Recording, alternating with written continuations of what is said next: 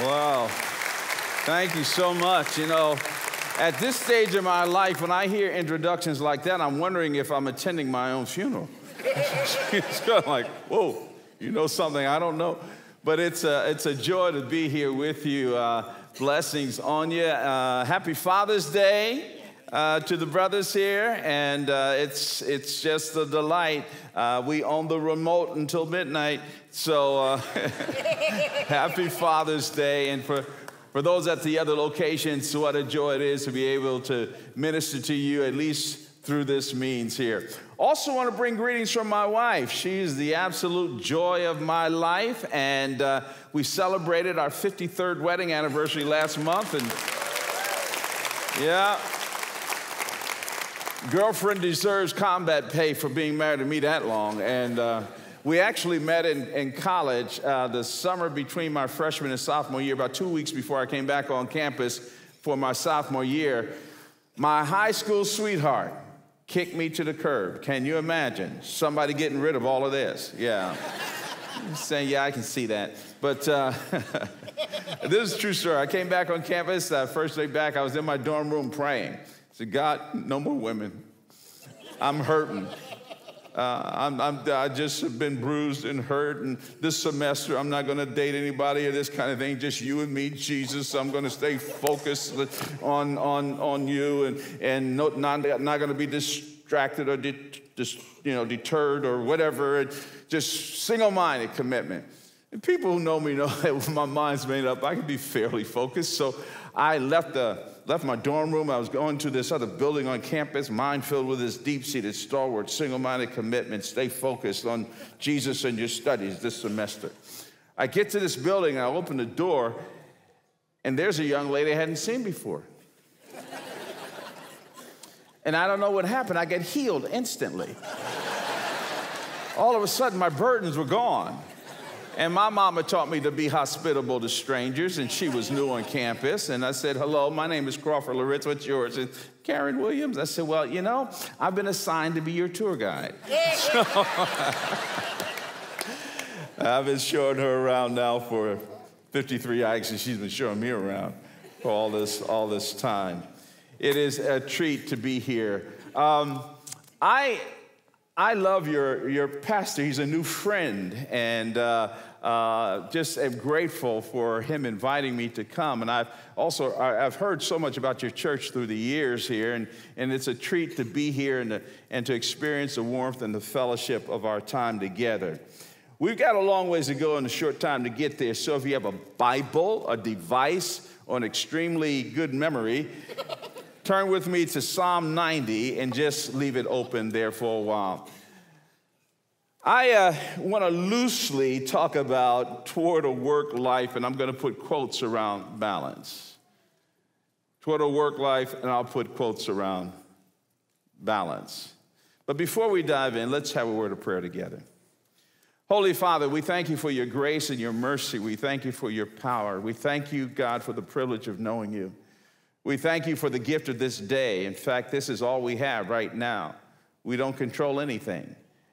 Thank you that you're with us. And I do pray in the name of your Son that you'll arrest our attention. I, I pray that you'll give us the ability to focus, that we will not be distracted or deterred in any way from what you have to say to us. May we not lose any spiritual equity that you want to accrue today.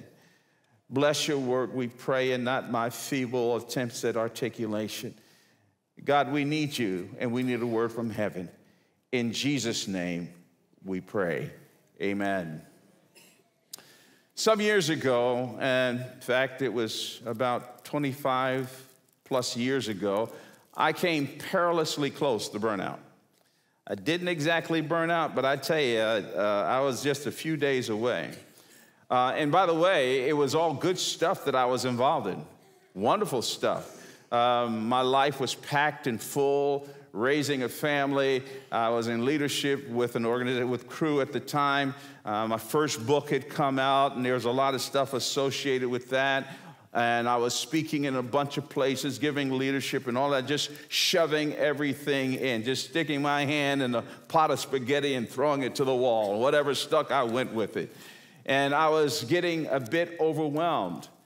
I found myself, um, and I don't have a personality that deals, you know, everybody has a little bit of anger in them, but I don't have a personality that gets ticked off too easily. But I found myself being constantly irritated, not being able to sleep well at night, um, just being overwhelmed. And a dear friend of mine that I hadn't seen in years, we were both speaking at the same event. He, he had asked me, we hadn't seen each other in a while. He said, Crawford, how you doing? And I just dumped it all out. I said, man, I, you know, I don't know what's wrong with me. All these wonderful things are happening and I'm busy and all of this stuff. And he, he just said this to me. He said, Crawford, there comes a time in your life where you have to stop doing the things that you can do and do the things that you should do. And then he walked away. It was as if the Holy Spirit grabbed me and said to me, Crawford, you're going to kill yourself doing good stuff. The stuff that will destroy you, the stuff that will mess you up, is not the categorically opposite stuff. It's not the D minus stuff or the C minus stuff or the F stuff.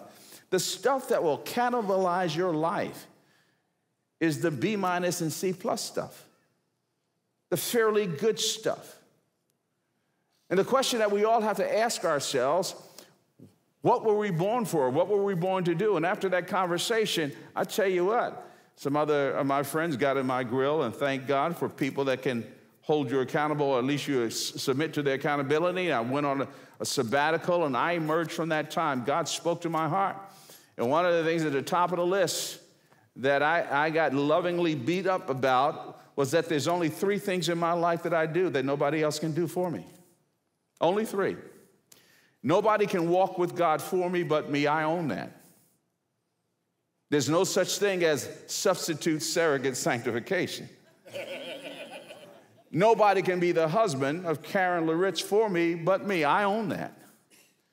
And nobody can be the dad of Brian, Heather, Brendan, and Holly for me but me. I own that.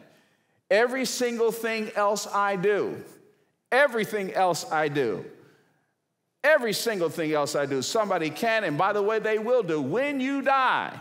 And by the way, ain't none of us getting out of here alive unless Jesus comes back. When you die, they may kick some dirt on your coffin or go, you know, see your picture if you get, you know, cremated or whatever it is. But I got to tell you, before the dirt is hard, they're going to be passing out a position focus sheet to replace you. Don't get demented. All of this stuff that we pour our hearts into, we pursue fool's gold. When we look over our lives, I'm, I'm at a stage of my life, you look over your life, you go, how much of this stuff was, did, did God really have his hand on? We pursue good ideas rather than be driven by the purposes and plans of God. So the question is how do we manage the lives that God has given to us? What, what, what do we do? And by the way, let me get back to the word balance. Uh, I put quotes around balance because I have not, I don't use that term intentionally. I stopped using it about 20, 25 years ago. Because, you know, to say that you're living a balanced life makes, the, makes an assumption that the targets are always stationary. That somehow balance is just a stationary thing. I think the more accurate description of all of our lives, the more healthy thing to say, is that I'm always pressing into the dynamic tensions. What are you talking about? Well, your, your marriage is not the same as it was five years ago. Things change, and I don't mean that in a negative sense. Your kids, their needs change. You can't relate to them the same way you did when they were five or six years old, when they're 10 and 15 and 20 years old. Issues on your job change. You change. And so, what we have to embrace in life, if we want to move toward being effective, is communication, adjustment, and movement toward where things are at this point. There are times in your life where you're free to travel more. And maybe if you, you, know, you, you got a ministry or a job that takes you on the road, then there are issues in your family where you need to ratchet things back. There are times when you can volunteer more at church, and then there are times, well, no, that's out of balance. The question is how do we steward our lives? How do we live lives that we leverage and maximize our, our moment, our moment in history? You see, God has given to us the gift of time to demonstrate and declare through our lives what's most important. Did you hear what I just said? God has given us the gift of time to declare through our moments in history what is most important. That's why we have time. Time is just a resource. Money, money is neutral. Well, the love of money is wrong, but money is neutral. Money is just a resource. So it is with time, it's just a resource. The purpose of money and the purpose of time is to leverage the money and time to maximize what's most important in your life. That's why we're here. Time is a gift, money is a gift. Are you maximizing it? Am I maximizing it? Am I maximizing it? Now, I promise you, we're going to get back to Psalm 90, but I want to I wanna just quote a couple of verses over here in Ephesians chapter 5, verses 15 through 16, because the Apostle Paul summarizes exactly what I just said. He says in verse 15, he said, Look, look carefully then how you walk the word walk there, it's a Greek word peripateo. It's a colloquialism that Paul uses to summarize how you live the daily concourse of your life every day. Crawford, Crawford, pay attention to how you're living. Reject passivity. Pay attention. Pay attention to how you, you're walking, not as unwise, but as wise. How do you do that? Well, by making the best use of your time. Time. This all sets up the psalm that Moses wrote in Psalm 90. He said, Moses wrote a psalm. Yeah, he wrote a psalm. You know, David wrote the, pretty much the lion's share. Uh, Asaph wrote some. The sons of Korah wrote some. But this psalm, Psalm 90, was written by Moses. Throughout the psalm, Moses is driving home the brevity of life, the brevity of life, the brevity of life, the brevity of life. And for those of us who are high control people, we have problems with this because there's the realization that, mm mm, mm mm, mm mm, mm mm, you control nothing. Control nothing. All of us are one text message away from sipping Maalox. We control, and one doctor's visit away from, you know, we, we control nothing. And at any given moment, God can say, Give me back my breath. Life is fragile. And because of this brevity, what do we do? He sets it up here in Psalm 90, verse um, Verse 10, he says, and I, I, he says, the, the, the, years of, your, of our life are 70, or even by reason of strength, 80. Yet their span is but toil and trouble, and they're soon gone, and we, we fly away. We're history. I mean, he's, he's a little cold blooded. He didn't miss, mince words. He said, Look, maybe 70. If you're past 70, this is bonus coverage, brother you know, this is overtime. And you're gonna, you're gonna, you're gonna, you're gonna be gone. You're gonna be gone. And the truth of the matter, when you die and your friends die, you got a generation and a half that might remember that you existed.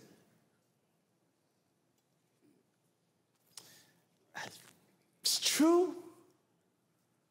It's true.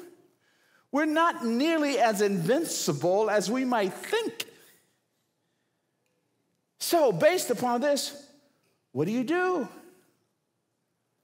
Well, Moses, just like Paul says, and this, this psalm, really, you can consider an exposition on that statement in Ephesians 5. Moses says, Well, in light of that, it should drive urgency. You see, life is but a brief moment in history lodged between two vast eternities. Every day of your life and my life, we've got to say, What am I doing with my moment? I don't have this moment again. You don't have it again. What are you doing with this bing, little moment lodged between two vast eternities? What am I going to do with that? And it's almost as if when you read the succeeding, the, the next few verses, it's almost as if Moses reaches out and grabs his readers by the lapels. Hey man, you're gonna fly away. Okay? So what should I do now? And he forces us and drives us to make three critical decisions. Three critical, they're not profound, but they're very, they're compellingly clear.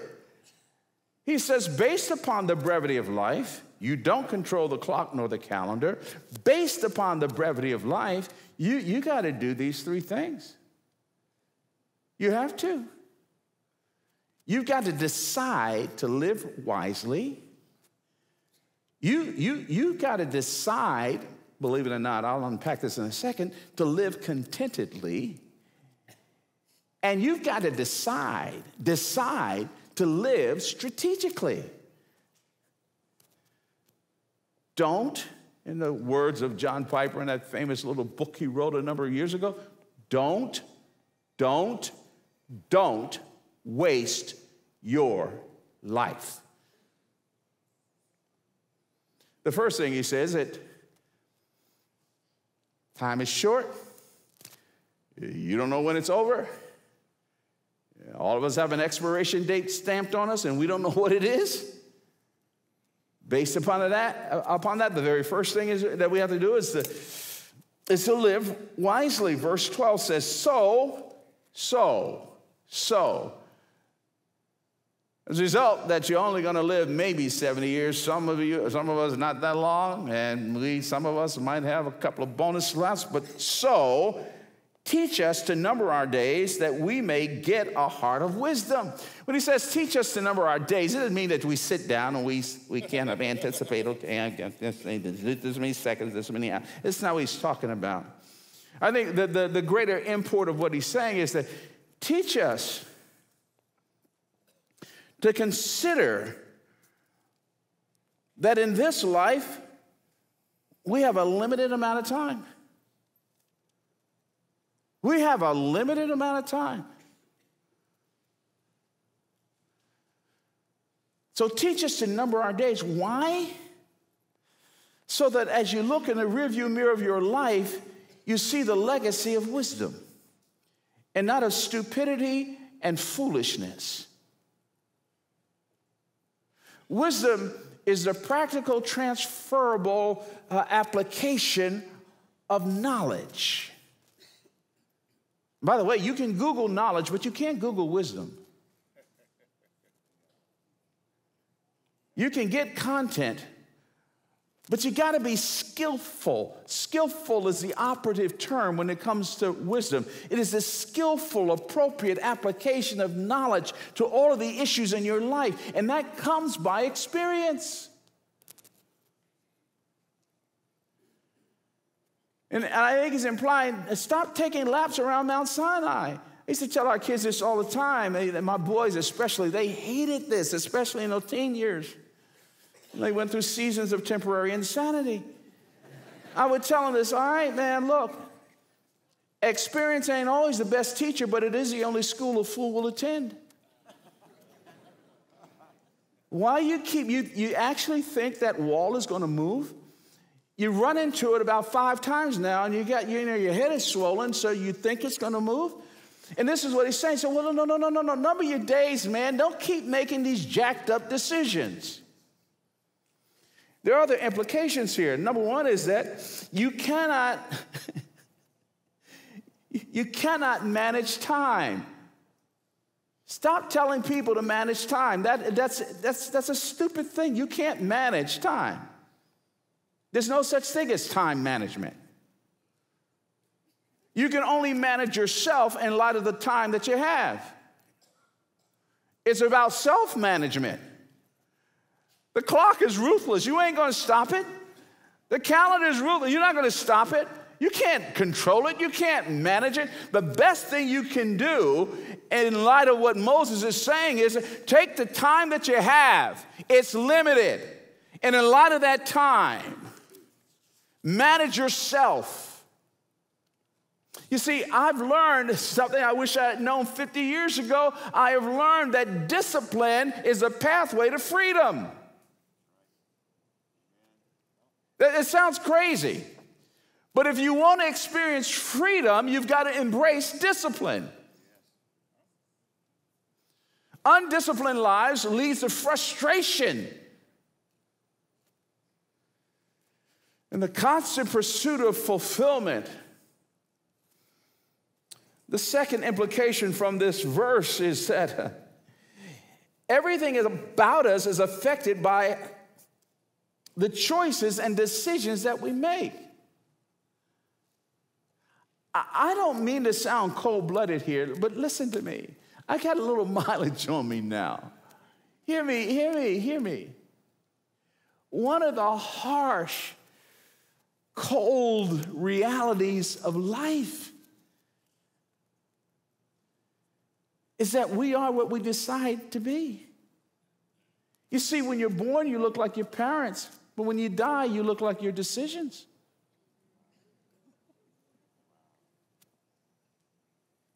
Even, even if people have abused you and done horrible things to you, horrible things, that's not justified. But the truth of the matter is, I still control my responses and my reactions. I still control that. And so, what Moses is implying is, and we should teach us to number our days. Hey, hey, hey, hey, hey. Don't be passive. Don't give the control of your choices and decisions to, to nebulous uh, environmental concerns or somebody else and living all your life blaming people on what you did and what you didn't have and all this other kind of stuff, angry and cynical and all of that stuff. Nobody, Crawford, this is horrible what happened to you. It sucks, man, but what are you going to do?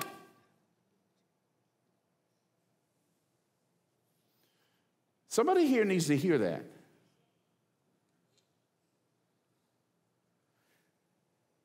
Quit procrastinating your joy and happiness until your circumstances change.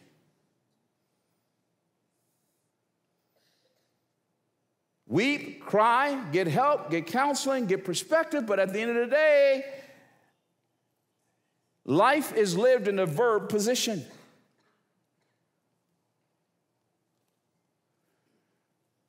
What are we deciding?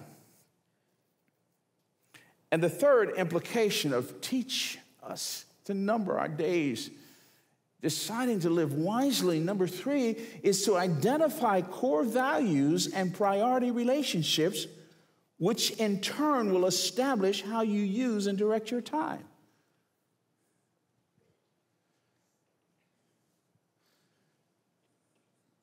We get frustrated we keep saying, I don't have enough time, I don't have enough time, I don't have enough time. That's not the question. The question is the level of your intentionality about your life.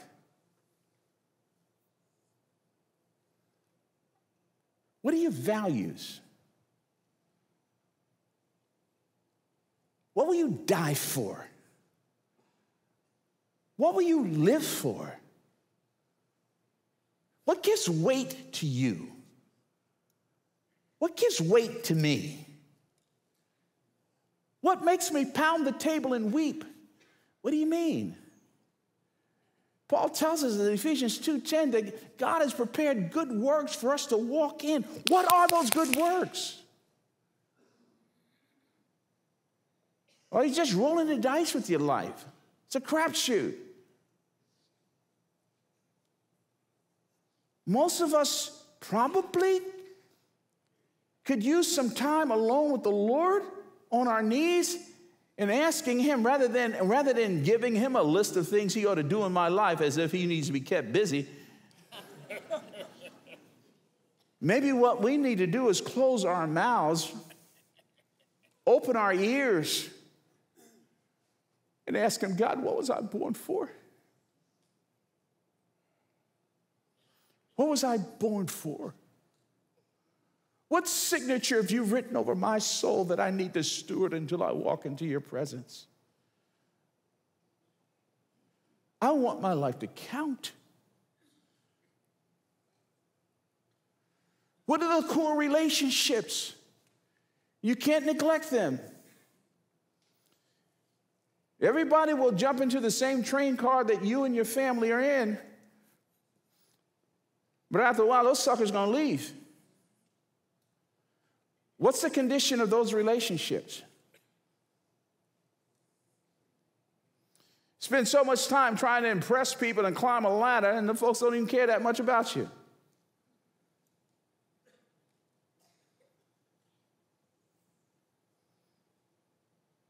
Teach us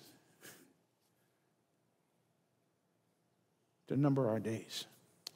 I need to hurry up here. The first one is this Moses said, Hey, hey, hey, hey, life is a gift.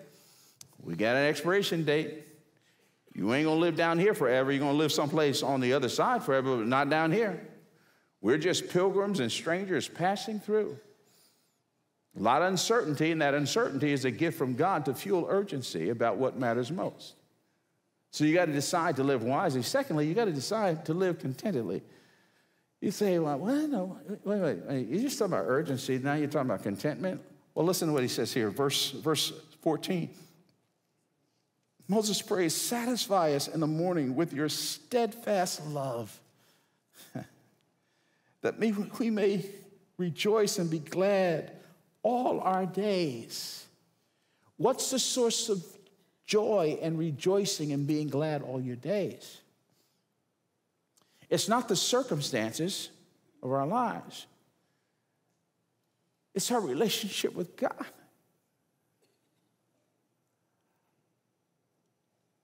He uses a word that's translated loving kindness. It's the Hebrew word chesed.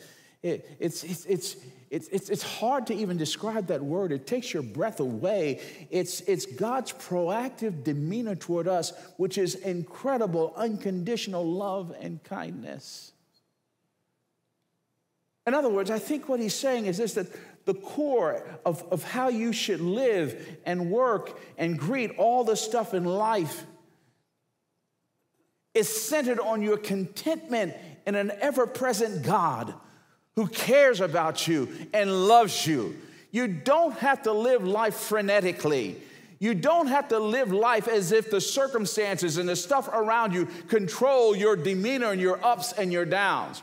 Joy in the Bible is, is so different. Joy in the Bible is a choice and a decision that's lodged in the consistency and the never changing nature of God. Joy in the Bible is stuff that cannot be affected or contaminated or moved by the incredible stuff that takes place that's unpredictable in this life.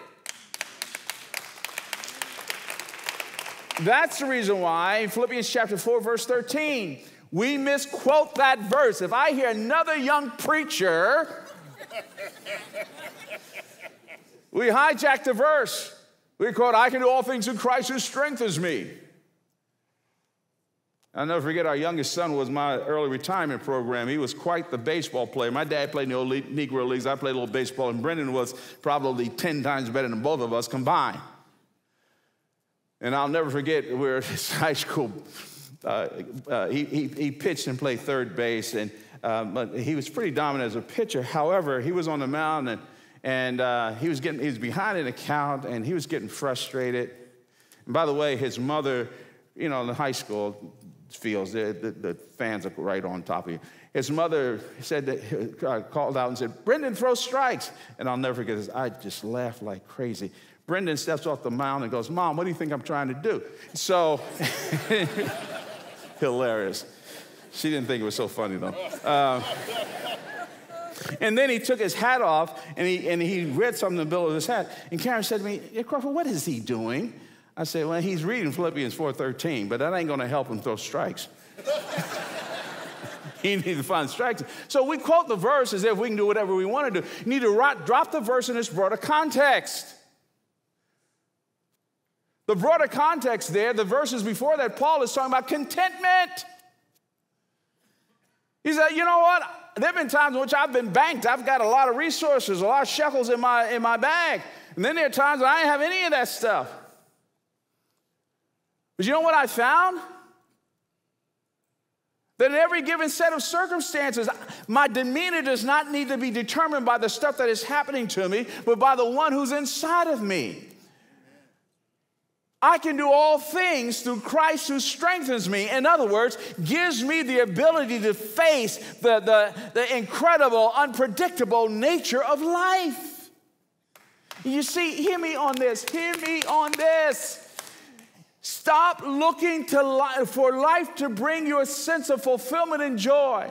Christians bring a sense of fulfillment and joy to life. Our relationship with a sovereign God brings stability to the stuff that's all around us. He's our satisfaction. That's the reason why, you know, believers, we walk into situations and why aren't they losing their minds? Well, they're looking to the Lord.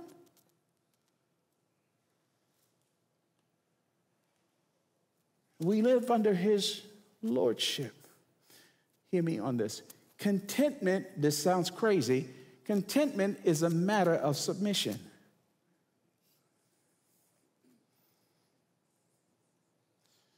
If we're not willing to submit to the Lordship of Christ, we're always going to be bifurcated and conflicted. Always. Always.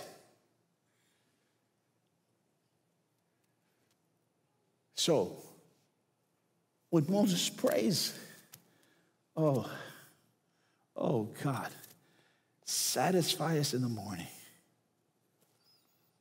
before my feet touch the floor with your chesed, your loving kindness. Uh, we're rounding third. We've got to come home here. The third decision is this it's the brevity of life. Nobody's stopping the calendar. Nobody's stopping the clock. And you don't know when it's all going to be over. So, what do you do? Crawford, get your backside in gear. That's what you do. You, you need to live wisely. Don't keep making these silly, jacked up decisions, man. Secondly, you, you, you, you need to live contentedly. Your life is the expression of God's goodness. And then, thirdly, you need to live strategically. Now, I suppose if you push me in the corners, uh, strategy should be a manifestation of wisdom, but listen to what he says here in verses 16 and 17. Moses says, Let your work be shown to your servants, and your glorious power to the children, to their children.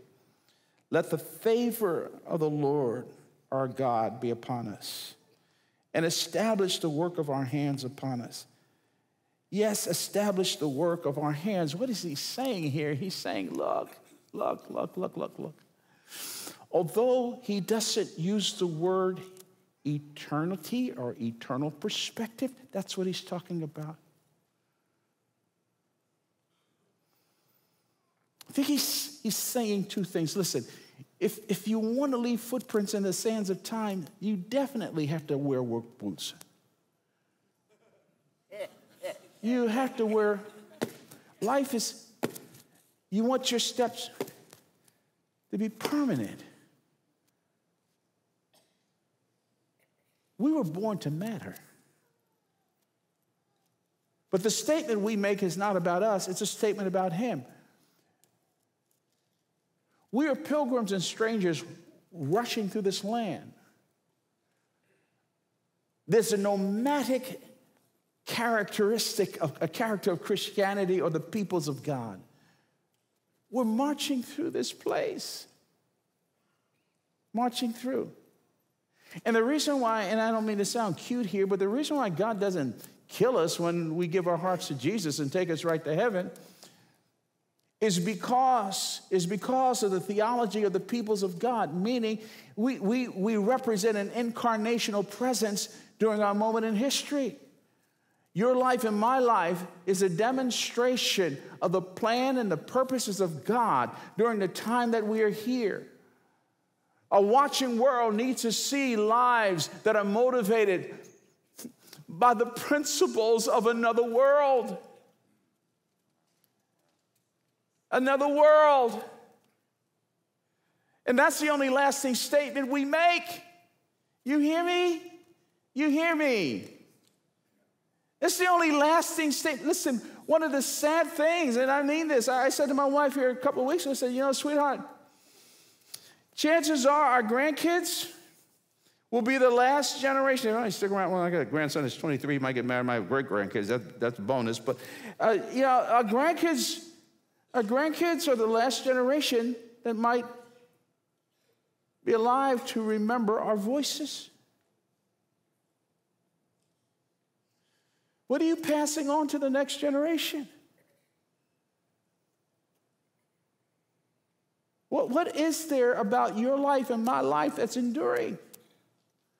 Now, don't get me wrong. I mean, we do all the wonderful stuff. We take our, yeah, take our grandkids to Disney World and all of that. And, you know, it's, great and wonderful, and that's good. And my wife, she says that uh, we're going to take everybody. We got 11 grandkids, four adult children, their spouses, and us. And she informed me that we're going to take everybody on a cruise. I said, okay, honey, at this stage of the game, whatever you want is yes. Now, we might have to get us a room at the rescue mission, but the answer is yes. All right? Then I'll say, did you enjoy that? Uh, so, you know, we, we, we do all these things, don't get me wrong, and we should enjoy life. We should. But two, three generations down the road, they ain't gonna remember Mickey. They're not gonna remember being up on the Lido deck. What's enduring about you? How are you ordering your life strategically to make the eternal the centerpiece of your life? Let me tell you this quick story and I'll, I'll be done. My great grandfather, his name was Peter, Peter Loritts. Peter was a slave. Woke up this morning thinking about him, Father's Day. My dad would have been 110 uh, years old this year.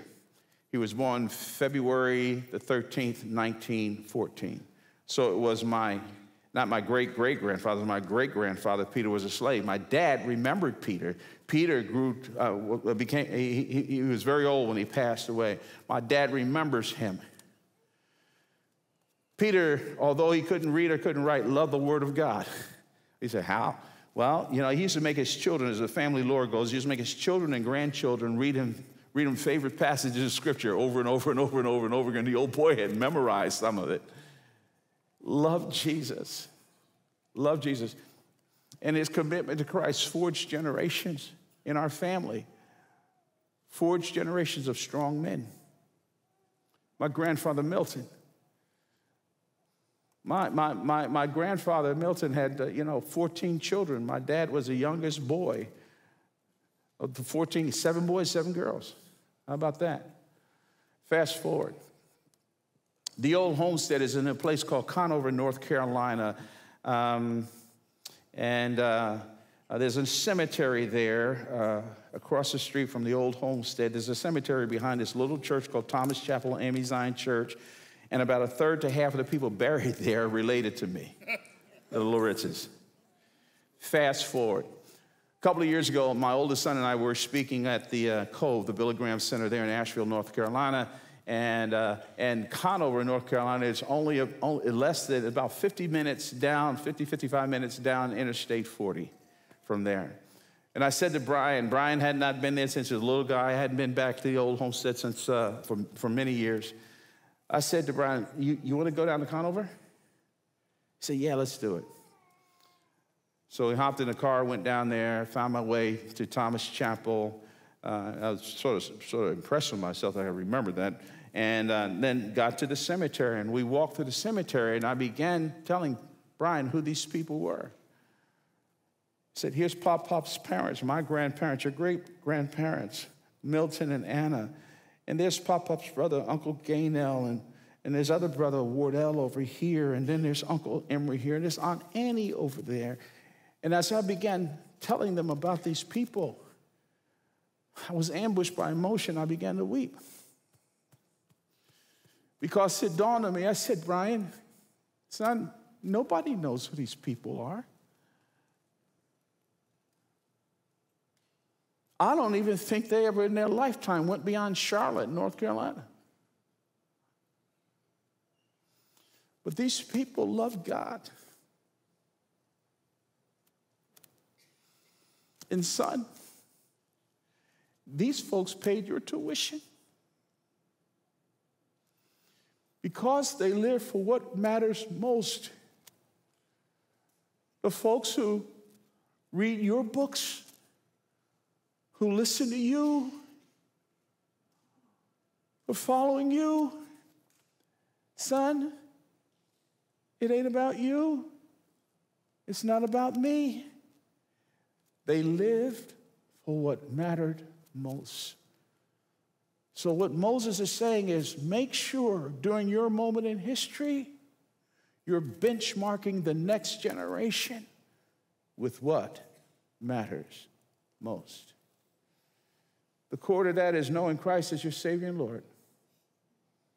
Turning your life over to Him, the author of life. And if you're yet to trust Him as your Savior, don't waste your life. Don't waste the time. You don't control the clock or the calendar. The day you hear His voice, don't harden your heart. Respond to Him. You were born for a relationship with Him. And all you have to do is say, Lord Jesus, thank you for dying on the cross for my sin. I turn from my sin and I trust you as my Savior and Lord, and He will come into your heart and life. Father, thank you for yourself. Thank you, God, for the kindness of the people here and those who are watching. Lord Jesus, I pray that you'll help us to embrace the gift of life. Lord, may we live wisely. May we live contentedly. And by all means, may we live strategically. Thank you for your love and your patience. And thank you for what you'll do in Jesus' name. Amen.